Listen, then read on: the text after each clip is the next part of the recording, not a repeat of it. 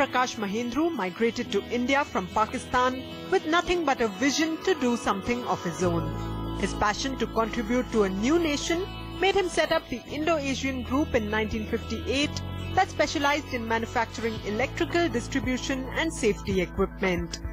Today, many years on, Mahendru has moved on to diversify into new age electronic products with his latest venture, Eon Electric. If we cannot generate more, at least spend less. That means we conserve power in whatever we do. So we decided to get into products which can conserve power useless power, whether it is electrical wires and cables and switchgear and lighting or CFLs or LEDs now. Eon Electric has been in electrical products, so right, right from conventional products such as wires and cables, uh, switches for homes, uh, lighting. We are the first company who launched CFL lamps in India.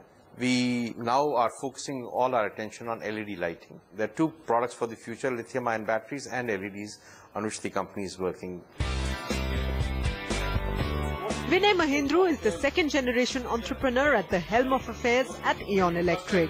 Together, the father-son duo has worked hard with an efficient team of experts to develop innovative and unique products for the Indian market. The company's product range includes fans, water heaters, security systems, mobile accessories, switches and much more. But its focus for the future is on green products like LED lights and lithium-ion batteries. Presently, I would say this battery market is about uh, anywhere between 350 to 400 million batteries. Uh, and uh, going forward, it's uh, a 15% year-on-year growth coming from these, uh, the mobile uh, battery division. So in the coming years, I look at about the market being close to about 4,000 to 5,000 crores. Today, every product we work on has to have two major criteria. It should be good for the environment, and it should be energy efficient.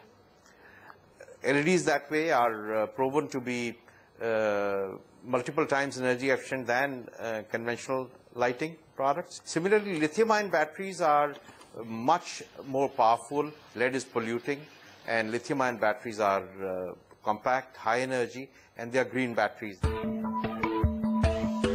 Eon Electric's modern manufacturing facilities at Haridwar in Uttarakhand produce a diverse range of products, leading the company to an annual turnover of 150 crore rupees that it aims to grow to 500 crore rupees in the next two years. The company's emphasis on good inputs, latest technology and excellent quality control has led it to win some very reputed clients we have supplied at one time our circuit breakers and other, other equipment to L&T has been one of them. GE has been another. Osram is the third one. Our lighting equipment that we have supplied earlier to them.